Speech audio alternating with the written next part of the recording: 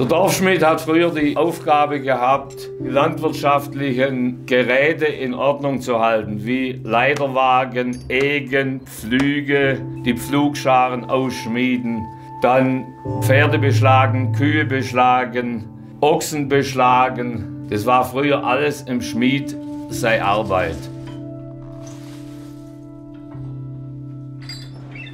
Dann ist ja auch noch viel von Hand gemäht worden. Die, wo ihre Sensen nicht selber dengelt haben, die haben sie morgens zum Schmied gebracht.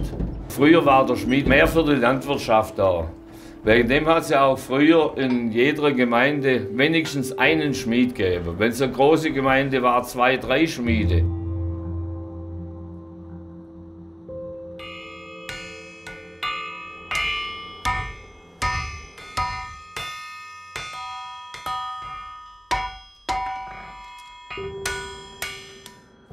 Und die Schmiede waren früher an sich angesehene Leute in die Dörfer. Denn sein Wort hat Gewicht gehabt.